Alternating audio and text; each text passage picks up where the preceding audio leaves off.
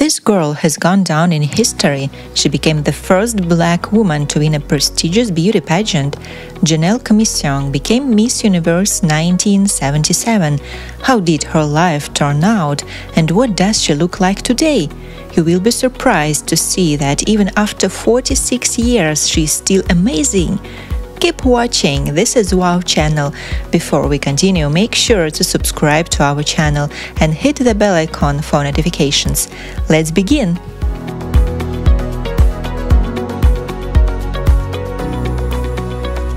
What is beauty? It's hard to say. Probably to find the answer to it, people began to hold beauty contests.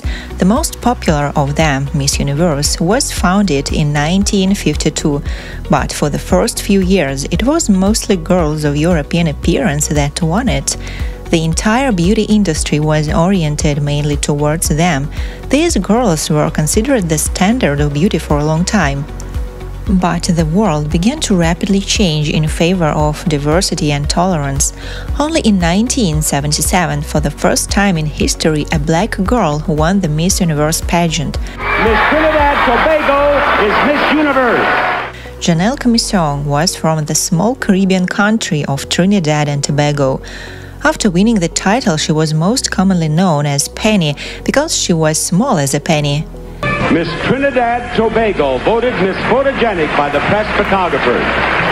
At that time, Janelle was 24 years old and had never been on stage before. Moreover, she did not even dream of becoming an actress or model. The girl moved from her native country to the United States at the age of 13 and lived there for 10 years with her parents. She studied at Manhattan's Fashion Institute of Technology and wanted to become a fashion designer. I had just moved back to Trinidad, so I did it for promotion. I hadn't been there for some years and wanted people to know who I was. I went into a local pageant without any expectations, she said. Everyone was shocked when this ordinary girl, who had never stepped on stage before, became the winner. She captivated the jury with her sophistication and manners. After winning, her life completely changed. The whole world was talking about her because this victory marked the beginning of new trends in the world of beauty. Girls of different appearance and nationality began to appear in magazines and in advertising. Thanks to Janelle, women of African descent were encouraged to be more and do more. She marked the beginning of a new era in the world of beauty. However, at that time, not everyone in society was ready for such changes. A person of color was not a typical beauty, said Janelle in an interview. The main chaperone for the pageant winners was very unhappy that a black woman had won over a white Miss USA. One day she said to me, Janelle, don't think you are the most beautiful girl in the world. I was quick on my feet and responded, The organization you work for told me I was.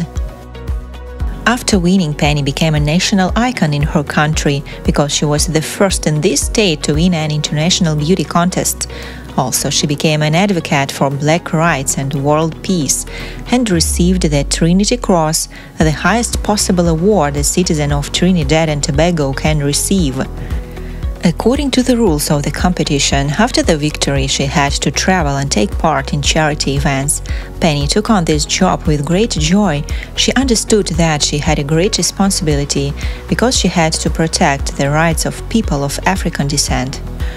So she visited many African, Asian, and European nations. The girl called her victory a step in the right direction toward changing racial attitudes, but she also knew that it would take more than a pageant to change the status of black women in the industry. She may well have added, and in life in general. In her country, Penny became very respected. However, she did not receive any special privileges from the government at the time of her victory. I got my name on a plane, but not once did I get a discounted ticket. I flew at full price just like the person in 14J, she laughs.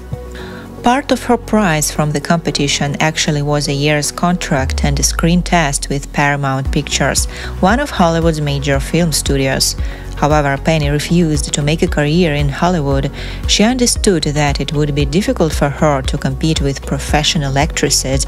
After all, the contract did not guarantee her success, so she decided to take a cash prize instead of a contract with Paramount Pictures.